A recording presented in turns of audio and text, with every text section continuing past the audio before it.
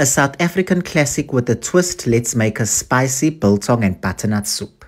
To your butternut pieces, add on some olive oil along with a tablespoon of Seven Colours Grill Seasoning Spice.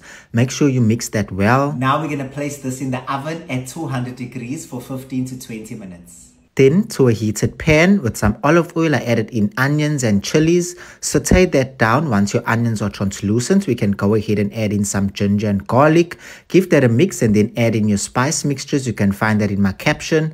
Add in some chicken stock and cover with the lid. Once your stock reduces and you form a paste, add in your roasted butternut pieces. Give that a mix to infuse the flavors and then we're going to add in the rest of our chicken stock. You're going to leave this on a medium heat and bring it to a boil. Once your butternut is nice and soft, you can blend it into a smooth texture. Add in some cream to assist with the blending to create a nice smooth texture. Also added in some butter as well. Then you can go ahead and add in the rest of your cream along with some biltong powder. You can also create your biltong powder by blending some biltong pieces together.